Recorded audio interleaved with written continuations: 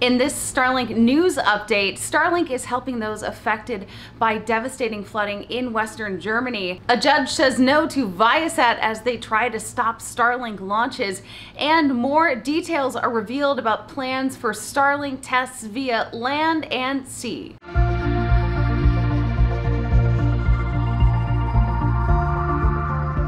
Germany has been hit hard by devastating historic flooding, and Starlink has come in to help. Those floods released two months worth of rainfall in just two days, so you can imagine how devastating the impact is. You can see here in these pictures and videos. As the country works to clean up after this disaster, Starlink is helping to keep them connected. Areas in Western Germany like Rhineland-Palatinate have limited cell reception and internet.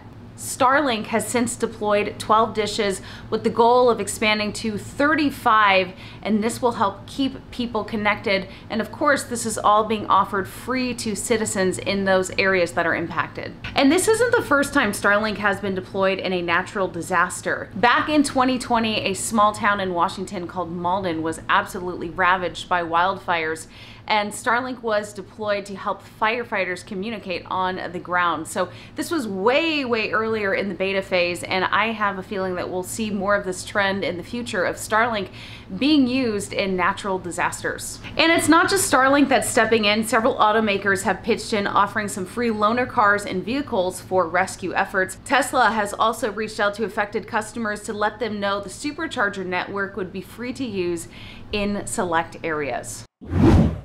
Viasat is getting a no from a judge after looking to put Starlink launches on pause. The geostationary satellite internet provider sought to freeze the numerous SpaceX launches and requested an environmental review. Viasat sued the FCC in May and asked judges for a stay that would halt SpaceX low Earth orbit satellite launches. Viasat alleged the FCC did not comply with the National Environmental Policy Act well, because it refused to conduct any environmental assessment. To achieve this, Viasat had to show that it's likely to win its lawsuit alleging the FCC improperly approved these launches, while a three-judge panel said that Viasat did not satisfy those stringent requirements needed for a stay pending court review. But the judge did grant a motion to expedite the appeal so the case could move more quickly. And finally, more details have been revealed for testing of Starlink by land and sea. Starlink is testing connectivity on multiple modes of transportation. Details from recent FCC filings reveal SpaceX plans to test two user terminals on a maritime vessel while embarked in U.S. territorial waters. This will last for two months, starting from September and ending in October. According to SpaceX, the test will demonstrate the Starlink user terminal's ability to function as an Earth station in motion in new geographic locations and sea states.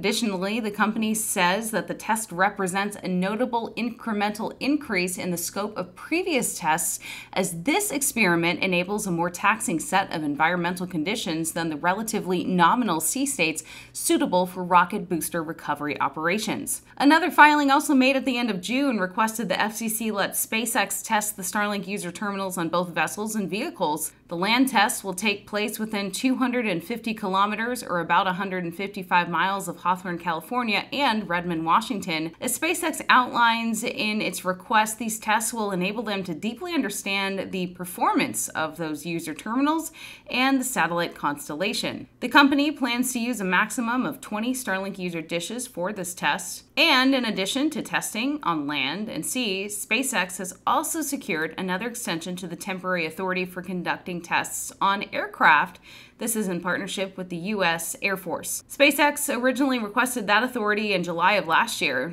The FCC extended the permit in May. And now this extension broadens the scope of these tests by air, originally intended to be carried out on an aircraft flying at a maximum altitude of 40,000 feet. SpaceX first tests the equipment on the ground as part of the tests and then mounts a custom terminal on an aircraft. The terminal mounted on the aircraft is not your Starlink Dishy McFlatface user terminal at home.